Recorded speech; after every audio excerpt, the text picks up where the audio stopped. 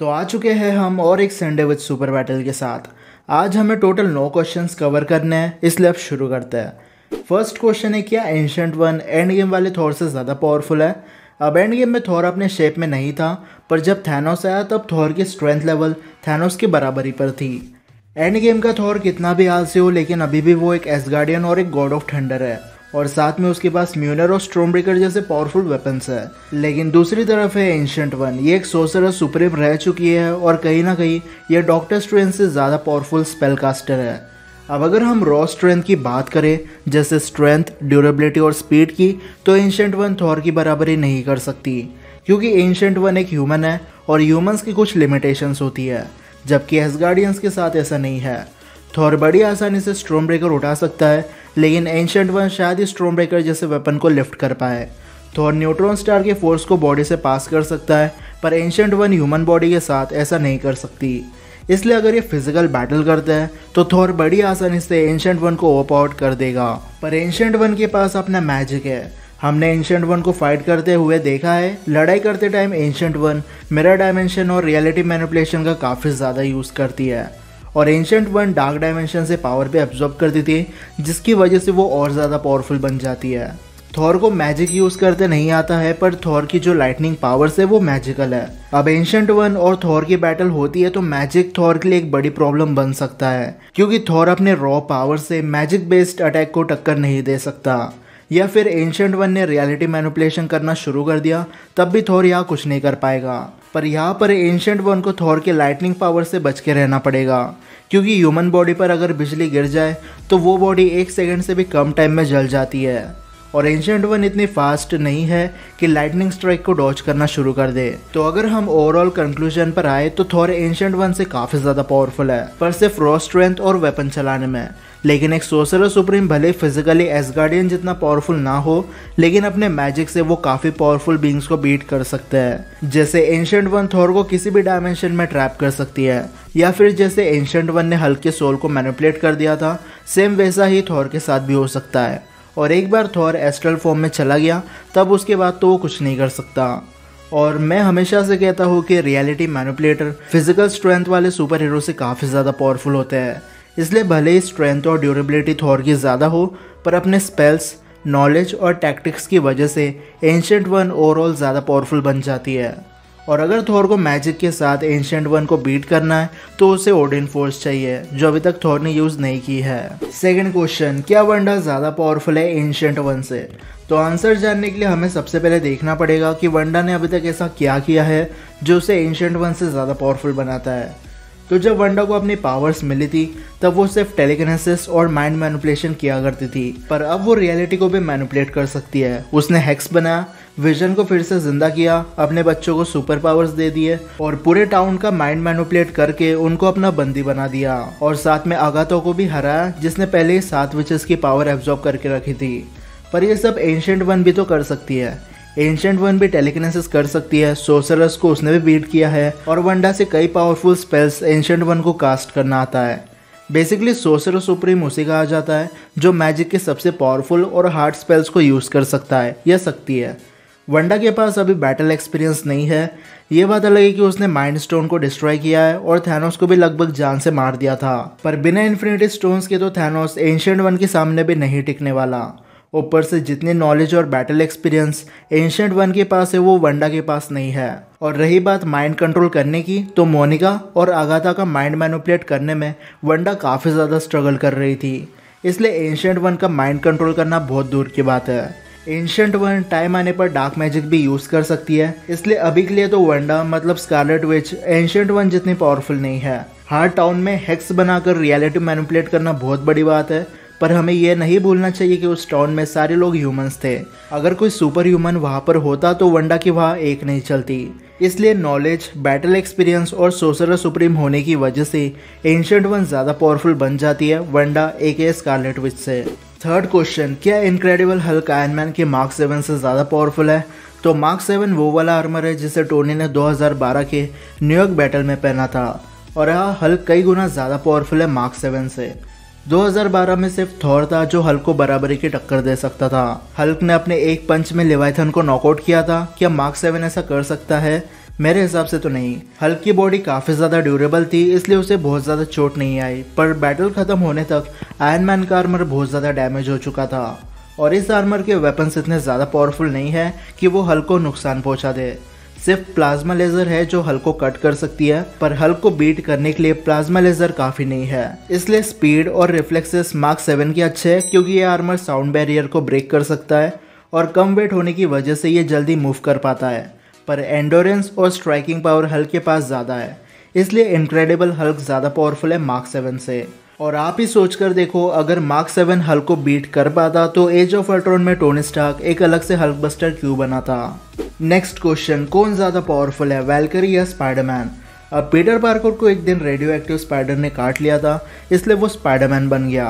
पर वेलकरी को बनाया जाता है। एसगार्ड में छोटे बच्चों को बचपन से ही ट्रेनिंग दी जाती है, ताकि आगे चलकर वो वेलकरिस बन जाए और एसगार्ड के साथ नो रियलम्स को प्रोटेक्ट करे। वेलकरिस बस फीमेल एसगार्डियन बन सकती है और इनके पास एक ड्रैगन खंजर होता है। इसका असली नाम ड्रैगन फैंग है, जो किसी भी चीज़ को कट कर सकता है, क्योंकि इसे सफेरिक स्टील और ड्रैगन के दांत से बनाया जाता है।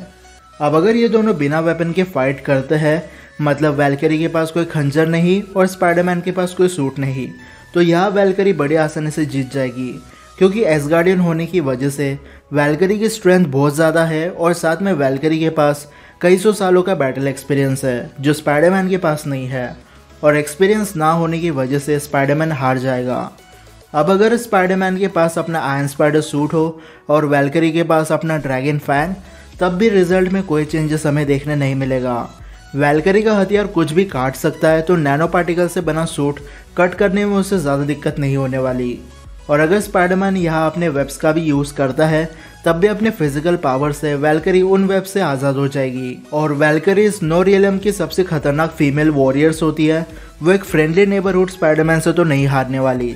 इसलिए वेलकरी ज़्यादा पावरफुल है स्पाइडरमैन से। Next question Wanda versus Captain Marvel अब इन दोनों को अपनी पावर्स इन्फिनिटी स्टोन से मिली है। इसलिए कुछ राउंड्स में हम इनकी बैटल करते हैं। सबसे पहले बात करते हैं battle without magic and super powers की। अब इस राउंड में कैप्टन मार्वल के पास एक एडवांटेज है।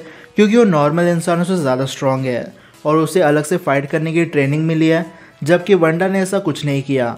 एक्सपेरिमेंट के चलते उसे अपनी पावर्स मिली और फ़िज़िकल बैटल में वो इतनी भी बुरी नहीं है, पर बिना पावर्स के वंडा एक आम इंसान से ज़्यादा कुछ नहीं है। इसलिए फ़र्स्ट राउंड की विनर कैप्टन मार्वल बन जाती है। सेकेंड राउंड है battle with magic and super powers अब कैप्टन मार्वल के पास प्रोटोन ब्लास्ट है और इन बीम्स का टेम्परेचर काफ़ी ज़्यादा होता है। इंसान और मेटल्स को तो ये पल भर में मेल्ट कर सकते हैं और साथ में कैप्टन मार्वल एनर्जी भी एब्जॉर्ब कर सकती है। पर एब्जॉर्प्शन पावर यहाँ काम नहीं आने वाली क्योंकि वंडा मैजिक करती है और मैजिक को सिर्फ़ विचर से एब्जॉर्ब कर सकती है। और सिविल वॉर में जैसे वंडा ने बुलेट से खुद को बचाया था, वैसे वो कैप्टन मार्वल के प्रोटोन ब्लास्ट को रोक सकती है। और वंडा के पास यह टेलीकनेसिस और माइंड कंट्रोल का एडवांटेज है। कैप्टन मार्वल के फाइनल बैटल में हम देख चुके हैं कि अगर कोई बंदा टेलीकिनेसिस करना शुरू कर दे तो कैप्टन मार्वल कुछ नहीं कर सकती। और अगर वंडा ने कैप्टन मार्वल का माइंड कंट्रोल कर दिया तो लड़ाई वही ख़त्म हो जाएगी। और मैजिक यूज़र्स को हमेशा एक एडवांटेज होता है, जब वो रॉ पावर्स वाले सुपर हीरो से फाइट करते हैं। इसलिए राउंड टू में वंडा विनर बन जाती है। थर्ड राउंड है बैटल इनसाइड हैक्स अब हैक्स के अंदर तो वंडा एक रियलिटी स्टोन बन जाती है। यहाँ पर ऐसा कुछ नहीं है जो वो नहीं कर सकती। और कैप्टन मार्वल हेक्स के अंदर वंडा के सामने एक टाइप से पावरलेस बन जाएगी।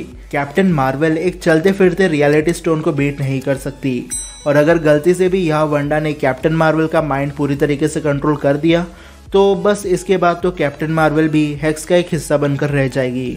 इसलिए थर्ड राउंड की विनर भी वंडा बन जाती है। और ओवरऑल वंडा ज़्यादा पावरफुल साबित होती है कैप्टन मार्वल से। Next question Hela versus Thanos without infinity stones अब थैनोस ने भले ही हल्को एक मिनट के अंदर हराया हो, थॉर के मुँह के सामने एसगार्डियंस को मार दिया हो, और आयरन मैन और डॉक्टर स्ट्रेंज जैसों को मार के कैप्टन मार्वल को ओवरपाउट कर दिया हो। फिर भी थैनोस बिना इन्फिनिटी स्टोन्स के हेला के सामने कुछ नहीं है। हेला जब अपने वीकेस्ट फॉर्म में थी, तब बिना किसी दिक्कत के उसने म्यूनर को तोड़ दिया, और ये वही म्यूनर है जिसने सुकोविया सिटी को डिस्ट्रॉय किया था। हेला के ऊपर हिस्ट्री के सबसे बड़ी लाइटनिंग स्ट्राइक हुई थी, फिर भी हेला को एक खरोच तक नहीं आई। थॉर और वेलकर एसगार्ड के सबसे पावरफुल और स्किल्ड वॉरियर्स है, लेकिन वो भी हेला को कुछ नहीं कर पाए। इनफैक्ट हेला को रोकने के लिए उनको सर्टर को समन करना पड़ा। अब हेला एक गॉडेस ऑफ़ डेथ है, और सोच के देखो कि थैनोस बिना इन्फिनिटी स्टोन्स के हेला को कैसे मार सकता है। बेसिकली वो नहीं मार सकता। हेला को मारने का सिर्फ़ एक रास्ता है कि एसगार्ड को कोर से डिस्ट्रॉय कर दो। लेकिन जब तक थैनोस कोर डिस्ट्रॉय करेगा, उससे पहले ही हेला थैनोस को अपने नेक्रोसोर्ट से छन्ने छन्नी कर देगी। और अगर हेला को मारने थैनोस अपनी आर्मी के साथ आ भी गया, तब भी वो हेला के लेवल पर नहीं है।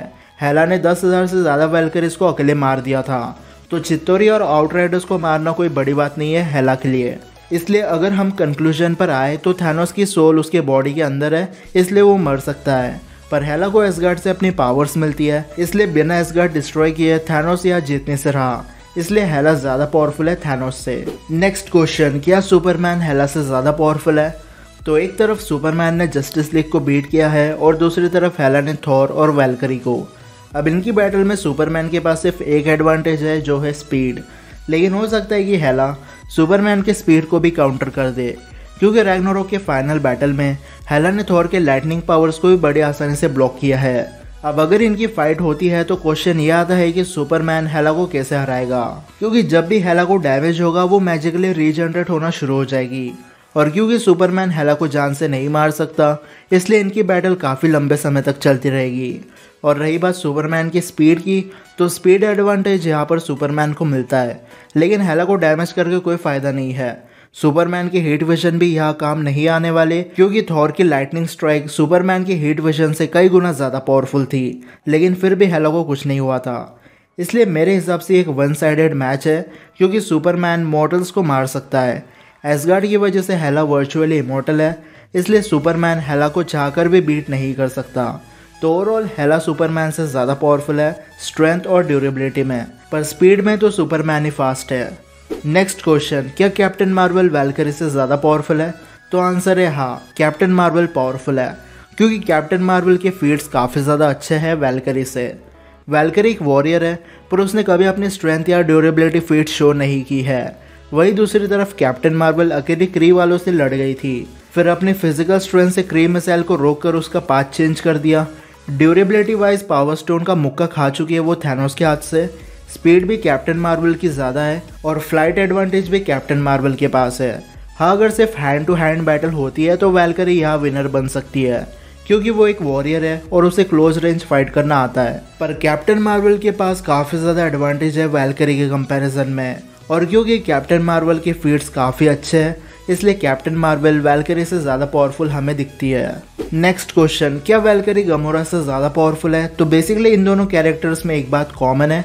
इन दोनों को बचपन से ही हार्ड ट्रेनिंग मिली है ताकि आगे जाकर ये वॉरियर बन जाए। पर गमोरा जिस रेस से बिलोंग करती है, वो स्पीशीज लड़ाई झगड़े से बहुत दूर रहती है। बस गमोरा अकेले उनके बीच एक वॉरियर बन गई। पर वेलकरी तो पैदाइशी एक एसगार्डियंस होते हैं, जिसकी फ़िज़िकल स्ट्रेंथ काफ़ी ज़्यादा सुपेरियर है गमोरा से। गमोरा की बॉडी पीक ह्यूमन लेवल के आसपास है, पर वेलकरी के पास भले ही फीट्स ना हो, लेकिन एस गार्डियन होने की वजह से उसकी ड्यूरेबिलिटी सुपर ह्यूमन लेवल के आसपास आ जाती है। अब इन दोनों ने कुछ भी ऐसा नहीं किया है, जिसके बेस पर हम ये बोल सकते हैं कि कौन किसको बीट कर सकता है। पर मेरे हिसाब से वेलकरी की एज गमोरा से ज़्यादा है, और वो लगभग तीन हज़ार साल से ट्रेनिंग कर रही है, और उसके पास बैटल एक्सपीरियंस भी गमोरा से ज़्यादा है इसलिए मेरे ओपिनियन से Valkyrie one v one battle में गमोरा को बीट कर सकती है। पर अब आप मुझे कमेंट सेक्शन में बता सकते हो कि आपको आज की सुपर बैटल कैसे लगी। अगर आपके पास ऐसे ही कोई क्वेश्चन हो तो मुझे कमेंट्स में ज़रूर बताना। वीडियो पसंद आई होगी तो इस वीडियो को लाइक और शेयर करना बिल्कुल मत भूलना। इंस्टाग्राम पर मुझे फॉलो नहीं किया है तो कर दो। लिंक आपको डिस्क्रिप्शन में मिल जाएगी और इस चैनल को भी सब्सक्राइब कर देना। तो फ़िलहाल के लिए इतना ही। अब मैं मिलता हूँ आपसे अगले वीडियो में। तब तक गुड बाय